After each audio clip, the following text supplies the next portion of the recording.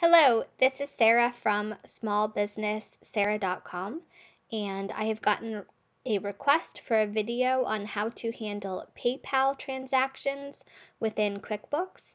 I am using QuickBooks Simple Start. You can find QuickBooks Simple Start if you go to www.smallbusinesssarah.com forward slash QuickBooks, and you'll find the product there. I also have other resources related to QuickBooks on my website and on this YouTube channel. Now, I can understand why I got a question about this because PayPal can be a little bit strange. So, let me show you first how to connect PayPal. We're going to, on the dashboard screen of QuickBooks Simple Start, we're going to go to Connect Accounts, select PayPal now on this screen you get two choices, set up sync with PayPal or do bank feeds. And they kind of make it seem like sync with PayPal is such a great idea, but my experience with it is it's not a great idea. So I prefer to do bank feeds with PayPal. It just makes things a bit simpler and easy to understand. It's easier to assign transactions to the correct categories if you do it by bank feeds, in my mind. So go ahead and set up bank feeds if you're connecting PayPal for the first time to QuickBooks and follow the instructions for logging into PayPal. And then all of your PayPal transactions are going to be fed directly into QuickBooks. So it automates that process, which is great. Now, I already have my PayPal connected. So I don't need to do that. I'm going to go into PayPal and show you what some of the transactions are like. Okay, so I try to come up with a smattering of transactions that you might encounter within PayPal. Uh, the big thing with PayPal is if you don't have a PayPal balance that you're drawing from, for instance, if you only use PayPal to facilitate purchasing an item, you're not using your PayPal balance to purchase that item, that's where you get into a little bit of trickiness because PayPal is still going to show those transactions in this feed here, but you actually paid for those items out of maybe your checking account or your credit card. So let's talk about a few items here. And I'm going to give you an example of exactly what I was just talking about. Although, because I pay with my PayPal balance, I don't have an exact scenario to show you. So, for instance, um, this written word media expense that I paid for, I paid for it out of my PayPal balance. So that's why in the spent column, you only see one line item that is the correct account I would add it to, and then I would click add, and I would add it to my QuickBooks Simple Start in Records. It would end up in this tab in QuickBooks, which is what you want to do. However, if I had not used my PayPal balance to pay for this, what I would see on this PayPal feed that we're the page we're on right here, we're in the for review under PayPal. I would actually see $25 received and then $25 spent. So it's kind of a clue to you that PayPal didn't actually handle the transaction. Well, they handled it, but the money did not come out of PayPal. If you see the same amount received and spent back to back, that's your clue that although the PayPal feed is showing those amounts, the money actually came out of a different account.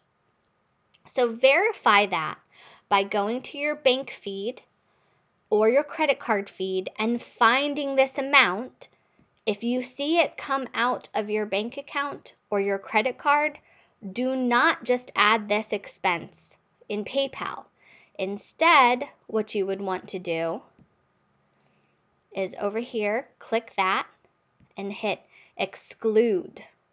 And that's all the transactions. You would do that for the revenue and the expense side because you would see it twice.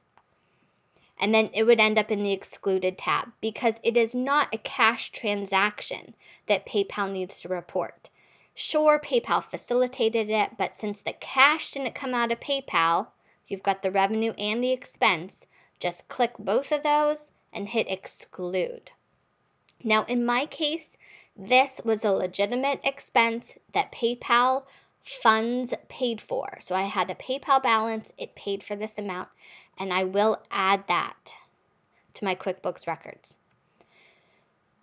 So, the other item I wanted to show you was when you have a revenue amount and then the PayPal fee. Okay, so if you send a PayPal invoice to somebody for a payment, you will get that money when they pay the invoice, but you are charged a transaction fee by PayPal. So in this case, I'm going to go ahead and save that revenue because it is in, um, this is hitting the revenue account that I want, an income account. I've created header accounts and sub accounts. So I'm going to hit add. Okay.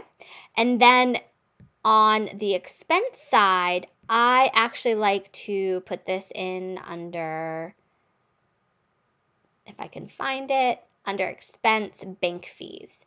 You could label it PayPal fees, uh, whatever you would like. I just put it under bank charges because that is really an expense. So then my records show the full amount of my revenue that I received and then the expense is that charge, that transaction fee. It's always best when you can to not net transactions together. For instance, I could have posted both to the revenue account, but in accounting, it's best if you can to separate out, to post things gross sales and then net the fees. So I'm going to go ahead and add that. Okay, the last thing I wanted to show you is if you have a transfer. So this was money that I removed from my PayPal account and I transferred it to my checking account. So this, um, so what you want to do instead of a lot of the time, add is the option that you see uh, shown here. So this is what it probably would have originally looked like. But I know that this isn't an expense to me. I just transfer that money to my bank account. So I do not want to hit an expense account if I just transferred that money. So I'm going to come over here. I'm going to actually hit the transfer button. And then it's transferring to the bank account, transfer, and we are done. Okay, so I hope that that was helpful to you. The big thing with PayPal, pick that bank feed option. And then the other the other main thing with PayPal is pay attention to those duplicates because that normally means that you actually paid for that item out of a different account and you do not want to double your expenses. Okay, leave a comment in below the video if you have a question. Thank you very much. Have a great day.